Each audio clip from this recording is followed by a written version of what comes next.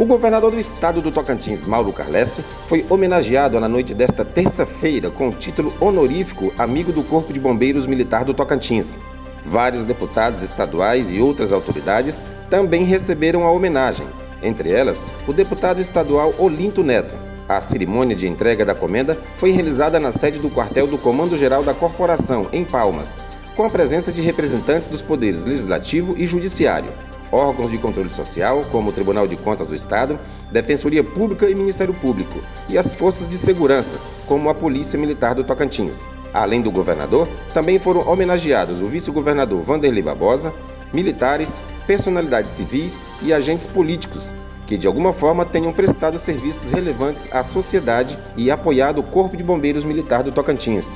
As comendas do Corpo de Bombeiros Militar do Tocantins são alusivas ao Dia do Bombeiro Militar, celebrado em 2 de julho. A data é uma homenagem aos heróis brasileiros que atuam diariamente, 24 horas por dia, 7 dias por semana, para cumprimento do juramento de salvar e proteger, mesmo com o risco da própria vida. O governador Mauro Carlesse destacou a felicidade pelo reconhecimento das ações que visam melhorar as condições de trabalho no Corpo de Bombeiros e também por colocar as medalhas nos integrantes da corporação. Estou feliz em receber essa honraria e principalmente em poder homenagear cada um desses bombeiros.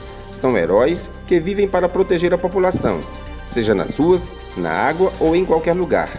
Eles sempre estão prontos para nos defender e muitas vezes colocam a própria vida em risco para salvar as pessoas, disse o governador. Foram homenageados membros da corporação com comendas pelos 10 anos e 30 anos de serviços prestados. As comendas levam o nome de Medalha do Mérito Bombeiro Militar, Medalha do Mérito Intelectual, Medalha da Defesa Civil, Medalha do Mérito Imperador D. Pedro II, que é comenda máxima otorgada pelo Corpo de Bombeiros, e o título honorífico Amigo do Corpo de Bombeiros Militar.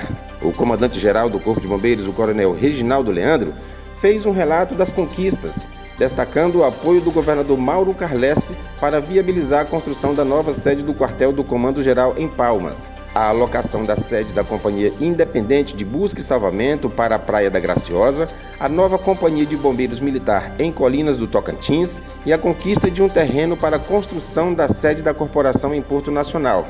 O comandante ressaltou que o governador sempre apoiou a corporação e não mediu esforços para promover o crescimento e melhorar as condições de trabalho dos bombeiros, disse o comandante. O deputado Olinto Neto, que também foi homenageado, disse estar feliz por ter o reconhecimento dessa guarnição e que fará de tudo para que o Corpo de Bombeiros do Tocantins continue próspero e ajudando a salvar vidas.